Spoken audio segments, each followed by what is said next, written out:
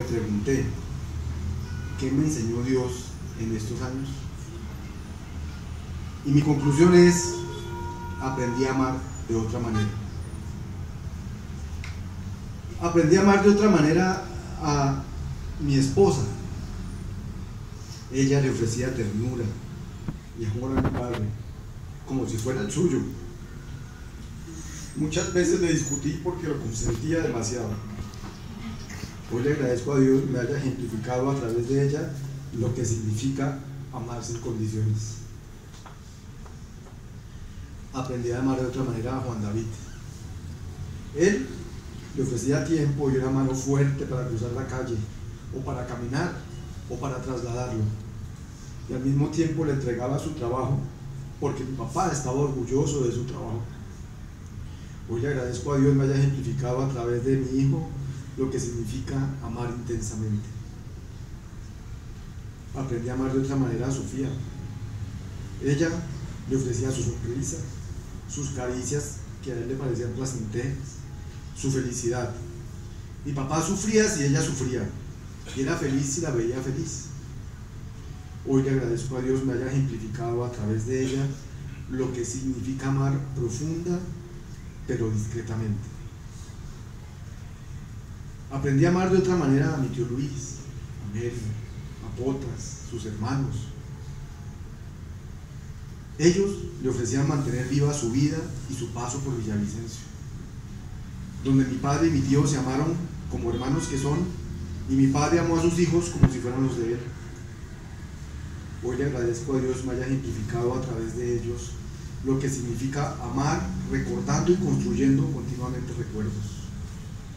Gracias por regalarnos amor familiar.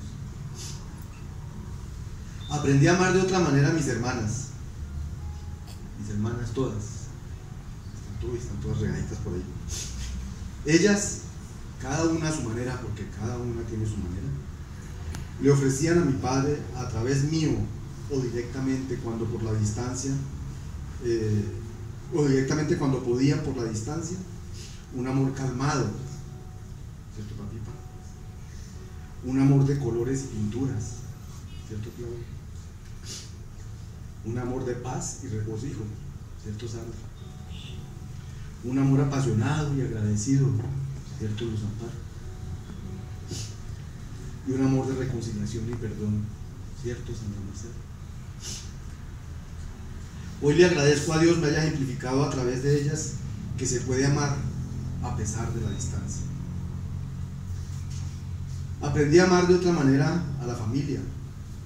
Ellos, cada uno a su manera y en su disponibilidad, le ofrecían estar pendientes, le ofrecían estar en sus oraciones. Hoy le agradezco a Dios me haya ejemplificado a través de ellos el amor que es compañía. Aprendí a amar de otra manera a mis amigos. Aquí están mis amigos también. Ellos, sin excepción, adoptaron a mi padre como un miembro de sus familias. Hoy le agradezco a Dios me haya ejemplificado a través de ellos el amor solidario. Aprendí a amar de otra manera a Marta. Ella le ofrecía todo, seguridad, protección, ternura, inmediatez, entrega total, cercanía a mí, a mis hijos y a su familia, una casa de la que mi padre vivía enamorado. Ella le ofrecía su propia, sus propias salud y bienestar, relegados por la salud y bienestar de él. Hoy le agradezco a Dios que me haya ejemplificado a través de ella lo que significa amar íntegra e integralmente lo que significa entregarlo todo y dejar incluso lo que uno más placer le da por amor, lo que significa amar en las buenas, en las malas, en la salud y en la enfermedad. Y aprendí a amar de otra manera a mi padre. Él me ofreció en la vida su vida. Vivía orgulloso de mí, sacaba pecho peleaba con mis hijos por mí, hacía barra en el deporte por mí, nunca veía mis defectos, por más claros que ellos aparecieran. A la única que no cambiaba por mí era Marta. Aunque a veces pareciera que eso quisiera.